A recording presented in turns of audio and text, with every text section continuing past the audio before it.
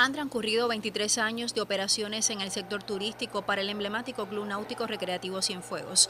Tanto al interno como al exterior del edificio se transforma el diseño de varios espacios por creadores del grupo Conarte, perteneciente a la empresa de proyectos y servicios de la cultura Atrios de La Habana.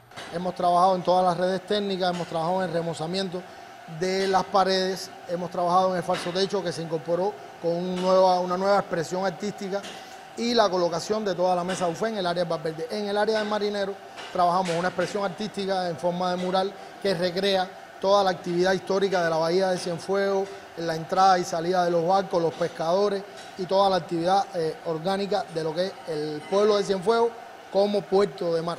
Como parte de los requisitos para la recategorización del inmueble, aquí se trabaja en diferentes etapas.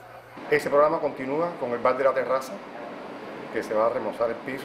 Se debe enchapar todo el, marinero también con mármol, todo lo que es el valverde, el marinero, los baños. Es un programa que termina con la restauración de la fachada del edificio, con las escaleras de acceso, con el café sin fuego, que ya vieron que los baños se están trabajando en ello, hicimos el falso techo, se va a cambiar los pisos del, del baño del café sin fuego, se va a pintar todo el edificio. De igual manera, en el Hotel Punta La Cueva surgen nuevos atractivos en áreas recreativas del entorno para una visualidad diferente de la instalación. Se le dio confort y estética a el nuevo ranchón con un mirador que aprovecha todas las visuales de la parte de la bahía. Muy respetuosos con las indicaciones del SINMA, con las indicaciones del IPF y eh, de proyecto y de la inmobiliaria del turismo que es nuestro cliente, que es quien nos contrató para hacer el, el, trabajo. Mientras en esta franja costera, a unos 20 kilómetros de la ciudad, se prosigue la interconexión de locaciones a través del corredor marítimo. Por las características y condiciones del, de la topografía del terreno, se decide por la parte de proyecto eh, auspiciado, o sea, en combinación con las autoridades del CISMA, llevar eh, tramos de pasarela levantados, mínimo eh, una altura de 30 centímetros aproximadamente del nivel de terreno para, para no impedir, o sea, el paso de, las aguas, de pluvial principalmente, y otras zonas de, paseo marítimo con adogreto. Más de ocho obras deberán concluirse para este 26 de julio en Cienfuegos. Entre ellas, el Hotel Pasacaballos recibe una amplia intervención constructiva que inició desde el pasado marzo con el fin de mejorar el confort para clientes y expositores del evento internacional Exposur con sede en la instalación. Estamos modificando lo que es eh, todo el área de baranda, 11 eh, habitaciones en el tercer nivel. Tenemos la cocina, que la estamos reorganizando, cambiando la función, porque el flujo se cruzaba entonces eso lo estamos, haciendo mejora, por así decirlo en resumen.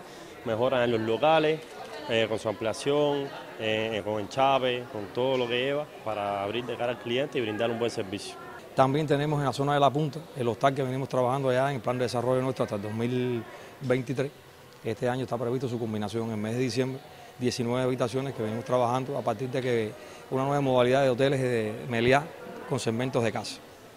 Ahí en esa instalación se viene trabajando un grupo de, acciones por parte de los constructores, de Emprestur, que es el principal constructor de la, de la obra.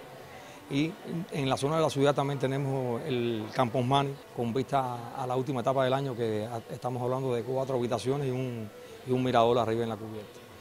Cuando se vuelca acá a la zona de playa, estamos trabajando en la zona de Rancho Luna en, varias etapas de, de 12 habitaciones hasta, hasta el mes de diciembre con vista ya a las 75 habitaciones, todo el cambio de imagen de estándar en las habitaciones, de mobiliario por parte de, la cadena Gran Caribe y por parte nuestra todo lo que es la reconformación del cambio de imagen de la, de la, habitación. Acciones que se desarrollan con el propósito de elevar el estándar de calidad en las prestaciones, uno de los compromisos del gremio para que el turismo en la Perla del Sur satisfaga a clientes nacionales y foráneos. Mayelín del Sol, Notisur.